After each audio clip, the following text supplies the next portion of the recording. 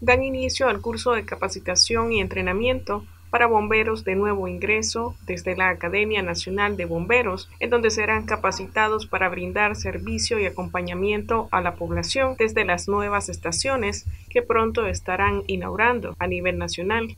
Seguimos trabajando con este proyecto, el proyecto que tiene que ver con la cobertura en la protección contra incendios. Para ello es necesario formar hombres y mujeres con valores, con principios.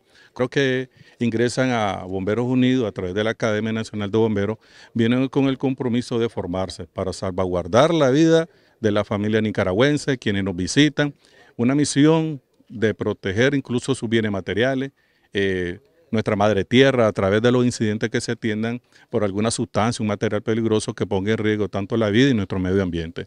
Estos bomberos vienen a formar parte de más de 30 días internos en la teoría, en la práctica, para generar seguridad.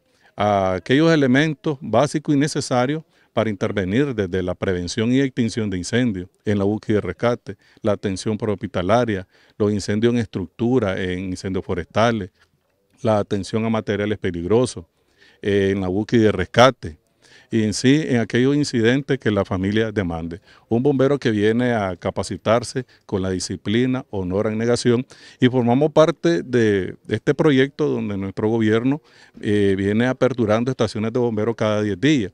Eso requiere la formación de hombres y mujeres, compañeros con habilidad y destreza para que generen seguridad, es el principal objetivo, el principal objetivo que tenemos Bomberos Unidos de Nicaragua, generar seguridad. Y esa seguridad a través de la formación de bomberos y bomberos. La familia nicaragüense en Nicaragua cada día más segura. En la apertura mañana de la estación número 100 82 que sería Corn Island y estos compañeros, dentro de ella el enfoque de género, participación de 8 compañeras, 32 varones. Las futuras estaciones de bomberos de Nagarote, Nueva Guinea, El Rama y Ocotal son parte de las estaciones de bomberos que en los próximos días, en los próximos meses serán aperturadas. Nosotros ya que nos va a llenar de cualidades, eh, a la hora de que nosotros vayamos a nuestras ciudades a participar, eh, ayudar a las familias, porque el bombero no es el que apaga los incendios, sino el que los previene. Qué importante. Las familias se sienten más confiadas también cuando llegamos eh, casa a casa, visitas al hogar, entonces ellos se sienten más confiadas a ver, al ver a una mujer bombera que les lleva seguridad, seguridad y, y sobre todo a sus niños también cuando nos miran, ah, una bombera, entonces eso los ayuda, los anima. Un gran beneficio y también un beneficio para la población, dar y brindar atención a las personas que necesitan.